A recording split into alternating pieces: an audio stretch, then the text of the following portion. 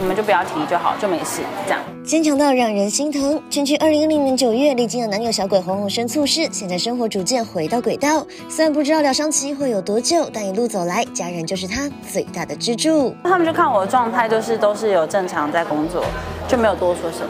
事情发生以后，第一次回去的时候，就是你知道爸爸是那种不会表现出来的人，但是他可能就会时不时的说。啊，什么时候回来？回去就煮很多东西给我吃啊，或者很关心我什么的，但是不会在言语上面去询问你心情还好吗，或什么。但是他会就是做更多平常可能不会那么频繁的联络，他就会突然每天都说，啊，你今天怎么样什么的。现在比较又回到之前的状态了，因为他们可能看到我就是都有在发文啊，有在轨正常的轨道上，就比较不会那么担心。因为我妈有问我，我说。你们就不要提就好，就没事这样。所以就是不要没事一直提到这件事情，之后开始他们就不会完全不会提。有家人的默默关心，粉丝给圈圈很大的力量。事情刚发生的时候，因为不是还是有专门骂我嘛，但是就是还是会有人跟我说他他很他懂我啊或什么的。对我来讲，我会觉得说会不会其实很多人不明白。我在做的每一个决定的原因是什么？但是就是他们都会私讯我，跟我分享说，哦，其实他他可以理解，当你在一个很不好的状态下的时候，你就会很容易，呃，对很多事情都很敏感，看到很多很多很正面的讯息的时候，我就会觉得说，哦，其实那些事情跟那些人对我来讲是不重要的，也找到很多在这个世界上跟我是。同温层的人，我完全完全不看，呃，外面的留言，我也不会去找自己的新闻什么的，我就是就是别人贴给我我会看，但是我不会看下面的留言，我就是看完新闻我就关掉了。朋友就会很热心的跟你说，哎，我看到那个什么你今天的新闻啊，然后什么的，我说不要跟我讲，我不想听。人的心还是肉做的，就即便我我不我。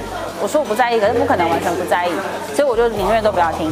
女粉丝确实是有蛮蛮多的啦。我觉得他如果是不认识我的人，没有讲话的状态下，他不会喜欢我，他会觉得我看起来很像讲话很很嗲。一跟我讲话，他才发现哦，不是他想象的那样。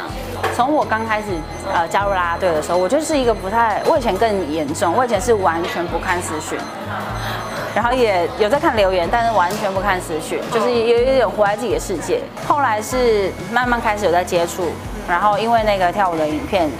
就是知名度比较高以后，不是开始会上通告啊什么，而且遇到很多人。然后因为一开始我是完全没有在关注这些有的没有，就是其他外面的世界，所以我都不知道谁是谁，顶多就是知道名字，也不会知道长相。我以前是完全活在自己的世界的人，后来我就是经发现我好像不能这样，就因为这样我就下载了 下载了那个那个一那个 E T Today 的 App，开始慢慢改变自己需要去接收外界资讯这件事情。改变生活，活出新的自己。圈圈也结交许多演艺圈的好友。哎，我之前真的认真有想过要，就是跟那个小猪他们去爬山，还有李佳颖，就他们都在分享他们爬山什么。有一次李佳颖就问我说：“哎，要不要跟他去？”他就说：“我跟你讲那个怎样。”就把他讲的有点累这样。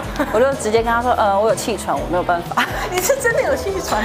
真的有啦，我真的有，但是没有到很严重，可能感冒到很严重的状态的时候才会气喘发作。我印象最深刻的是那个幼稚园跟。小学初期是，尤其是幼稚园是很常跑医院。小学以后，因为很喜欢运动，就是很像，就是很很像小男生都会跑来跑去啊什么的，就变得比较好。然后有去学游泳。那你现在也要带？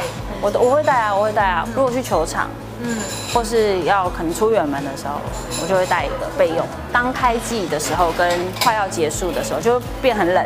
哦哦。对，就空气很冷的时候，然后如果在上面一直一直。